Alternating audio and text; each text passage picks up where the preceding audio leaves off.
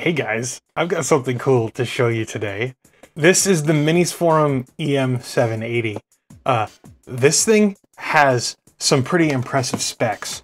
Um, uh, we have, this is the EM780. This is a Ryzen 7 8740U, and it has Radeon 780 graphics. It has 16 gigabytes of RAM in dual channel mode, has a terabyte of storage, and we're gonna open this bad boy up. Now, full disclosure, Minisforum sent me this to review, and uh, holy crap, this thing is small, dude. Now, I, I, did actually open this up earlier. It came in a little plastic bag, um, but I haven't powered this on, uh, and I haven't done anything else with it. So, uh, my God, this is incredibly small. Like, holy crap, wait a minute. Dude, I mean, that's an ESP32. That's a PSP, my guys. Like, this thing is absolutely tiny. Like, my god. uh, let's see. We got, this is, this is an original Zune, 30 gigabytes. We have a Retroflag GPI 2 case, and uh, that's a compute module. Dude, like this thing is insanely small, guys. Original Zune. Haven't used that in a while. I cannot believe how small this is. So we have a little bit of documentation here. Uh, getting set up with your PC, blah, blah, blah. We know how all this works. Uh, let's just look in the box. So what else do we have in here? Oh, there it is. All right, we have cardboard.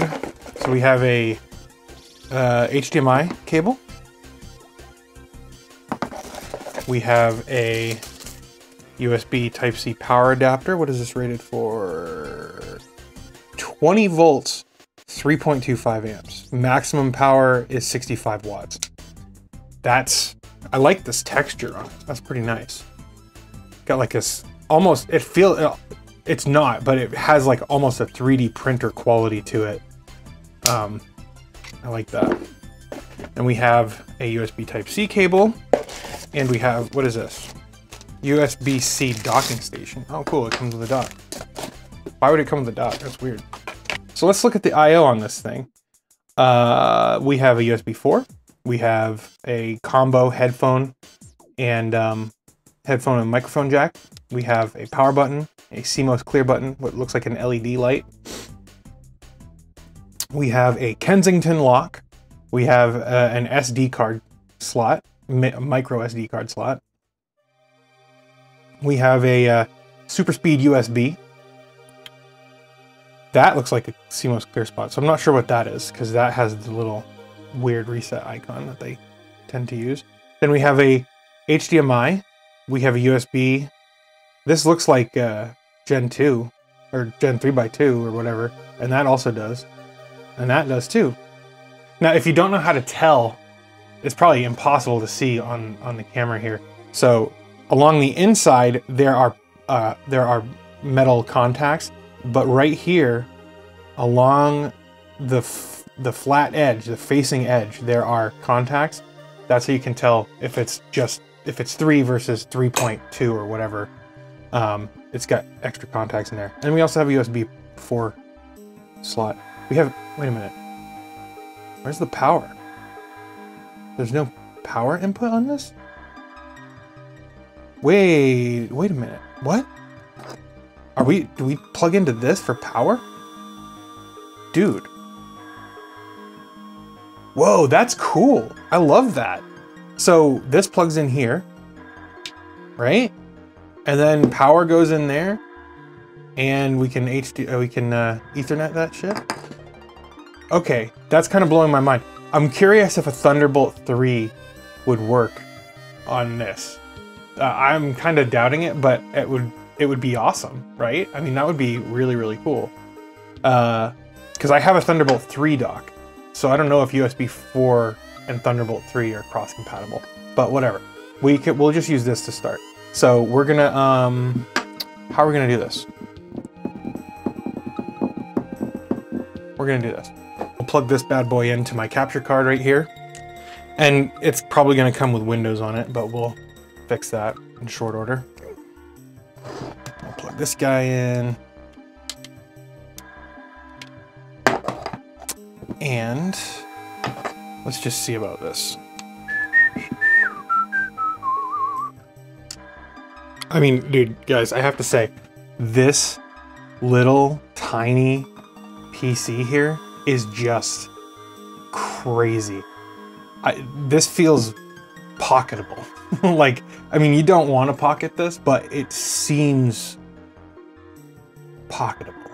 You know what I'm saying?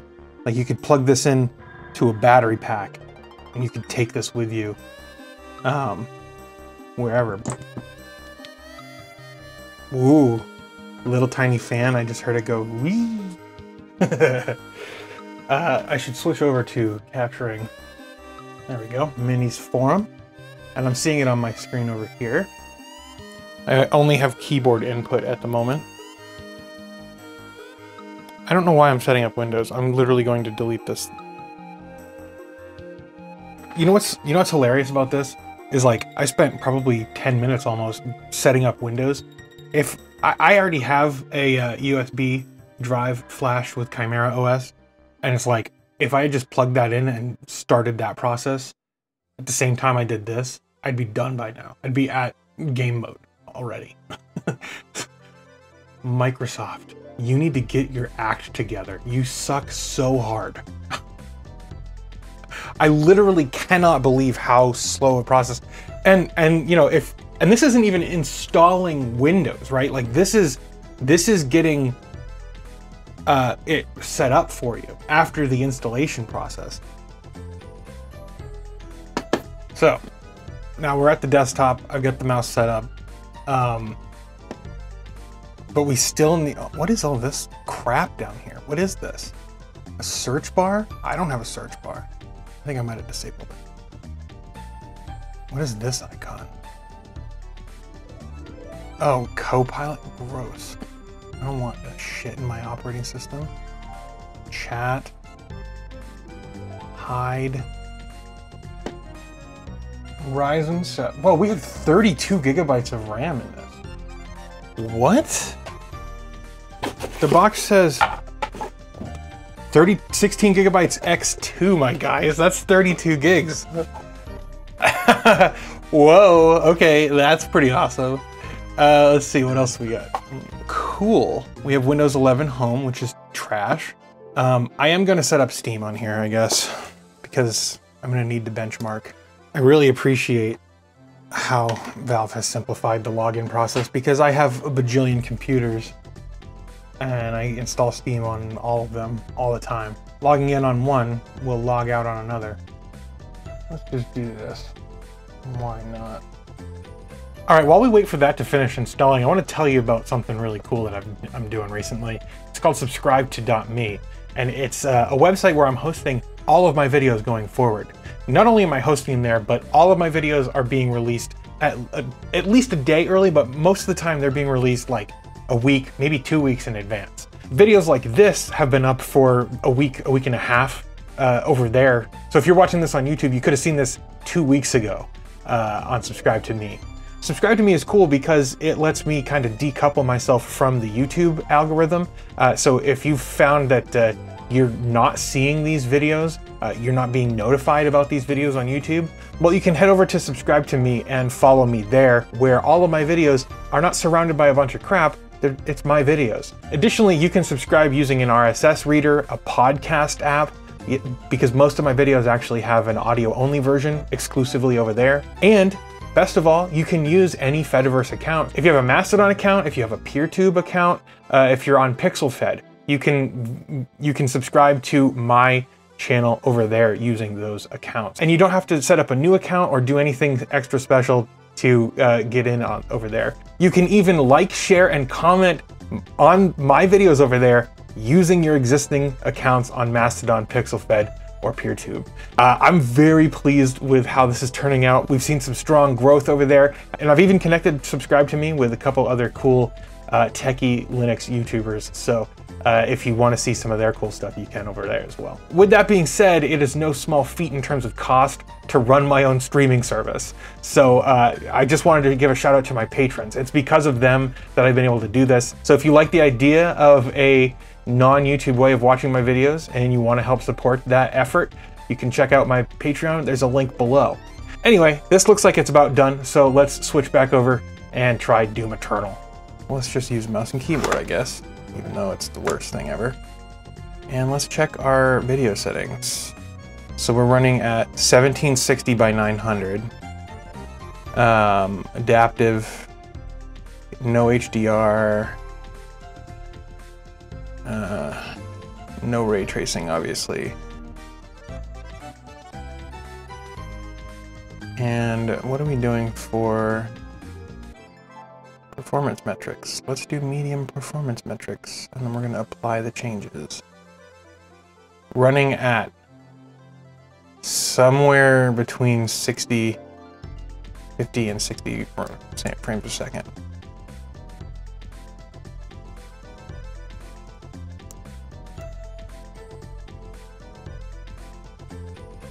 Yeah, I do not play this with a mouse and keyboard, but it seems to be working. It's like actually very playable. Of course it is. Why wouldn't it be? Um, this is Doom Eternal after all. And I mean, it feels pretty good. It's it seems like it's really alternating between like 58 and 62 frames a second. Um, I'm curious if we like engage like a frame cap if we say on. Oh yeah. Nice. So 60 FPS like rock solid 60 FPS, which makes me think that we might be able to bring a lot of these settings up here. So let's do 1080p. Now I'm actually running this on a 4K display, but because I have a capture card uh, in the mix, it's reporting as 1920 by 1080 maximum. Um, let's see, performance metrics, render mode, overall quality. Let's set everything to medium and see how that works and we'll apply those changes. Okay, we, we've halved our performance. Let's take the resolution back and see how that fares. So let's set it to 1080p. And let's go down here to low.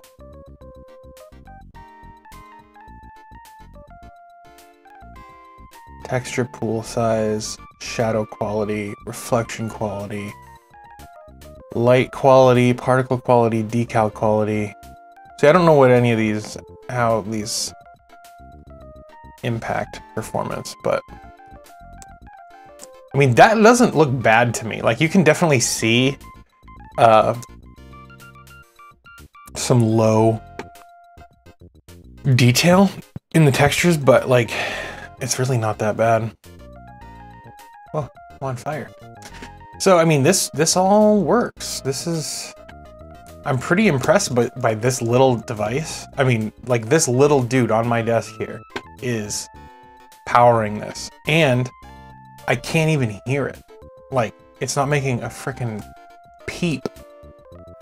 Now, I don't know about playing games at 4K. I'm gonna guess that's a non-starter on this. Um, at least a, a big AAA game like Doom Eternal. Um, but playing games at 4K, like a Spelunky or, or like a Dead Cells, probably something like that, like a low, a low demand game. I'm imagining is going to work pretty well. But the question is, how do older AAA games work? Because I have another. I've got one of my favorite games ever, Bioshock Infinite, installed on here. And we're gonna try that. Now, I'm I'm playing this on Windows as well, so uh, I'm curious to see how the game is gonna perform on SteamOS or Chimera, I should say.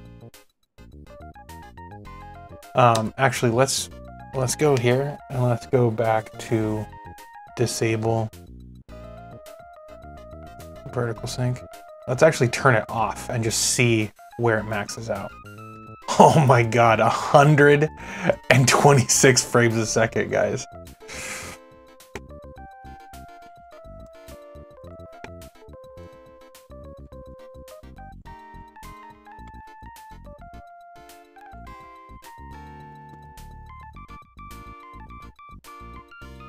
BFG. Get him okay. Get out of here.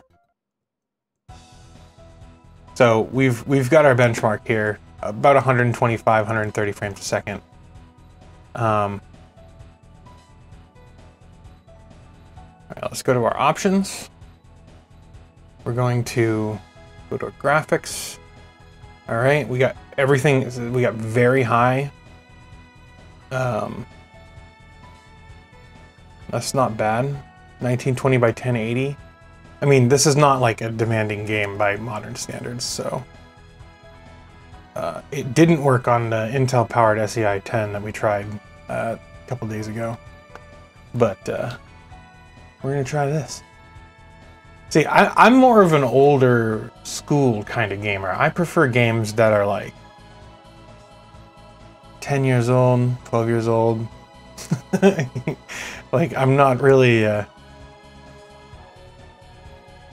I mean, that's a convincing uh, reflection of Hank Hill as Ben Franklin. uh, I look like a jackass. All right, we need to see our um, frame rate here. So let's go into the settings. And we're gonna go into, they've changed this. I usually play in game mode, in Steam Deck mode, top left. All right, we're at 60. Let's turn off VSync so we'll see how high this goes here. VSync.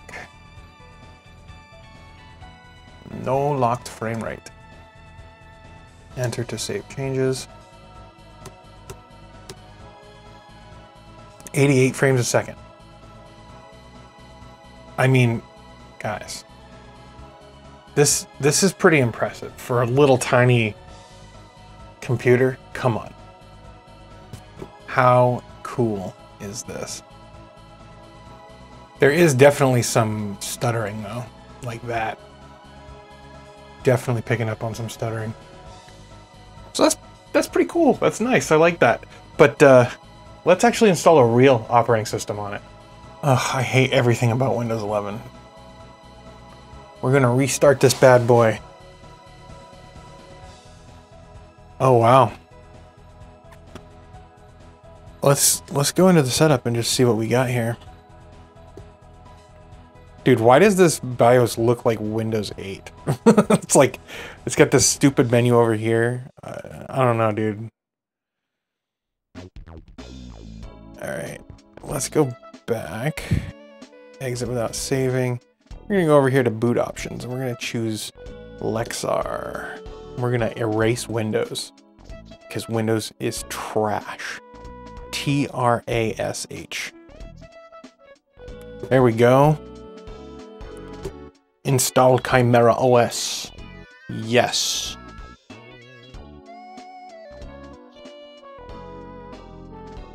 Boom shakalaka.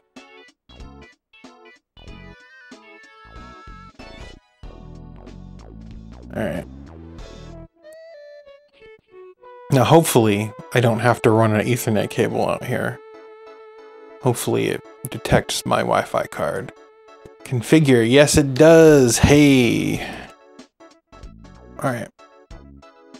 Yep. Yes. Delete it all. Delete everything. Windows is garbage. Let's check out the advanced options. Use firmware overrides, unstable builds. Yeah, I don't care. Just go with the default. Boom, we're installing Chimera OS 45, my guys. Uh, really excited about this one, actually. This is going to be cool. And just so you're keeping track, I hope you're like paying attention because we're almost done setting up setting up our operating system because it's going to go here and then we're to boot into right into big picture mode and then we're to sign in and we're done. There's no faffing about with Windows 11 startup like configurations and disabling privacy uh, invading features and you know uh, clicking next and then skipping out of a free Office 365 and uh, and getting one month free of Xbox Game Pass and all this crap. How about you just offer a good product? And you know what's like the craziest thing about all of this to me is like this is an incredibly fast installation, uh, but Chimera OS is actually one of the slower Linux installations. It depends entirely on your uh, um, internet speed. Would you like to restart your computer now? Yes. And that took installing an actual operating system took less time than it's than it takes to like get through the tedious Windows 11 first run startup bullshit. It's insane to me. I cannot believe it. And it detected the uh, native resolution of my display too. Versus Windows, which couldn't see the actual display. Oh yeah. There we go. Look at that. Alright, first run setup. We're gonna pick uh, Eastern Standard Time. We're already set up with our Wi-Fi because that's how the freaking setup works, my dudes. Oh, it's so good. And then, and then we sign in here. Look, easy, easy. This is this is how life should be, my guys. But instead, we're subjected to Microsoft's like evil nonsense. And then we're gonna go over here, go to settings. It's fully navigable with just a keyboard, which is great. Cool. So now let's, we have to, oh no, we don't. We don't have to reinstall it. because there's a TF card reader on this thing. And I can just go like this and take the SD card out of my Steam Deck and I can plug it right in here. Look at this. It's almost like this was meant to run SteamOS. And we go to installed. Look at this. We have all these installed games, including Bioshock Infinite. So I don't have to download it again. All right, we're gonna go here to Doom Eternal. Yep. Oh, we have an update? I'm just gonna play it. Come on. Downloading content. Guys, how I don't understand how like I I get it. Like there's so much propaganda and like just lies. But like I just don't get how anybody could think Windows is better. Like yeah, you can play like terrible online shooters that are only fun because you're playing them with your friends, right? Like I get that. If you think it's fun to play video games online, then I I guess I understand but like everything else is like so much better on Linux. I just I lit it boggles my mind. Like things just work on Linux, unlike on Windows where you have to trick your operating system into doing what you want it to do.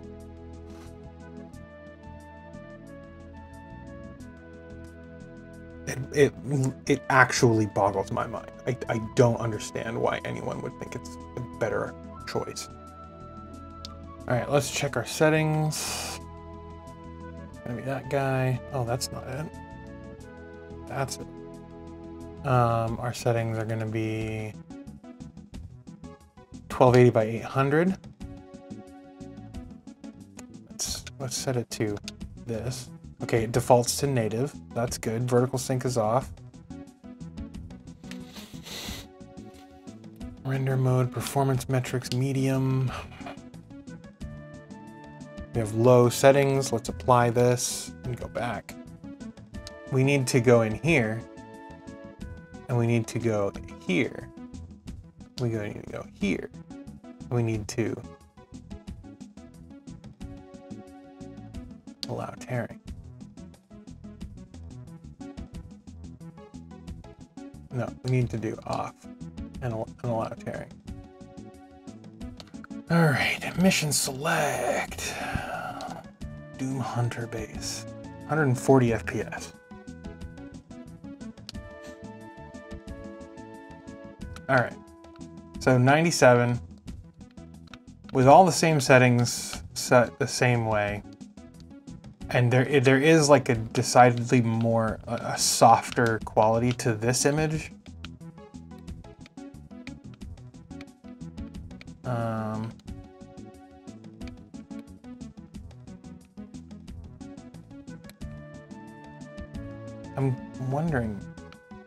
says we're at nine.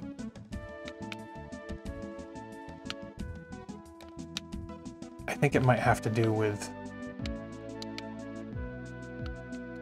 the. Let's go to scaling, FSR. Oh, that looks a lot better. But I think this actually has FSR or something in it. Uh,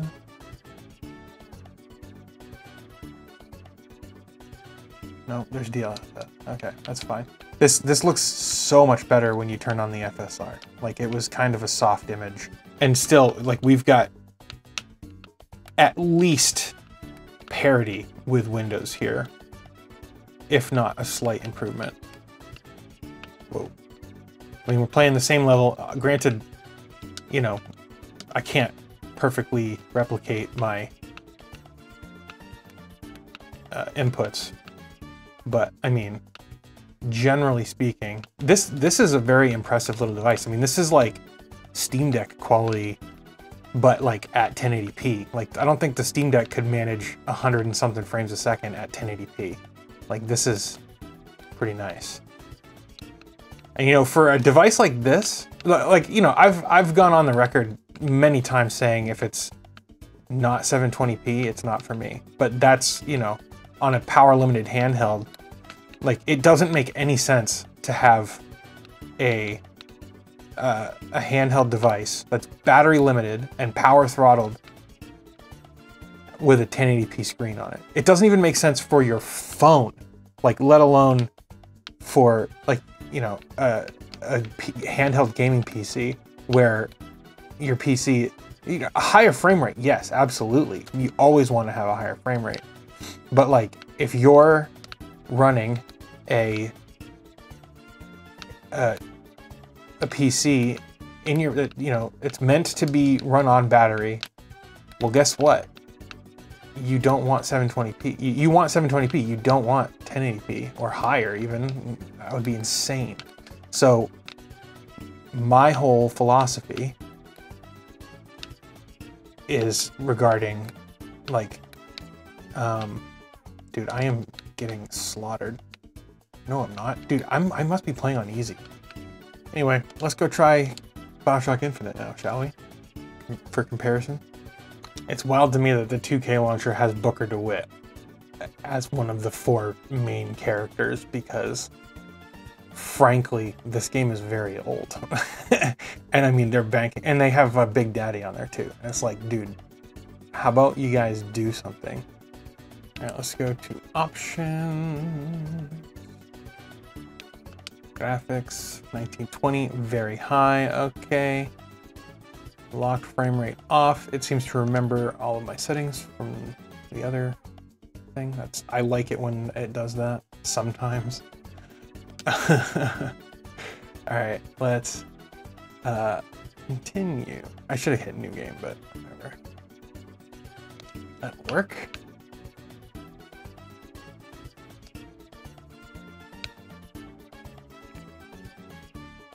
All right, what are we at? 75 FPS. So this is actually running worse than Windows, if I remember correctly. But I mean, I don't know, maybe that's about right. I don't know. We'll see when we compare the footage. 85, 82. Eh, I think it's about 10 FPS slower if I remember correctly. Dude, Bioshock is such, this is such a beautiful game, dude.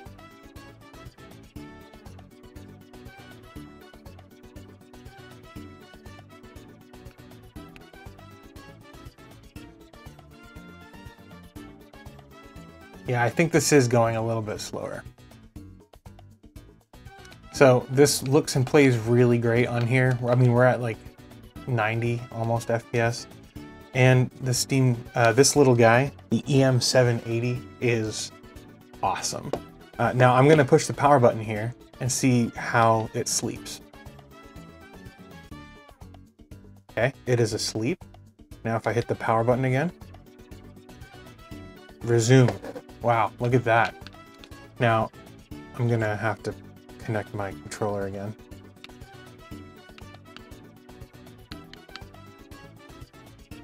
There we go. Connected. Boom. But now the question is, can I wake it up from sleep with the controller? I'm gonna guess no. Holy crap. Oh no, it didn't do it. the light is blinking because it's asleep. Okay, that's all right. But I mean, dude, it it resumes immediately, and I'm already back in. I actually really like this uh, device here, the the EM780. I want to thank Minisforum for sending me this to review. I have another one that I'm going to review.